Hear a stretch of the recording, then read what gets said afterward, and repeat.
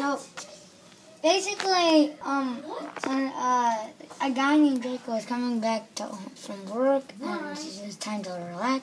He said, "Finally time to relax." Basically, he just said, "This is good," and then he's relaxed. He walks to the couch, and then ah, and then he's just staring and looking at this, and then he says, "Done, done, done." Then, and he thinks someone just robbed the bank. So then he flew to the robbery. Whoosh.